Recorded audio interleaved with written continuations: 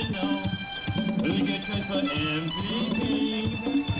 Well, I don't have to think for very long until the is my MVP. David Ortiz, the MVP of the American League, Papi. So then they say to me, well, no way can be MVP. Well, I express the guy is clutch. I'm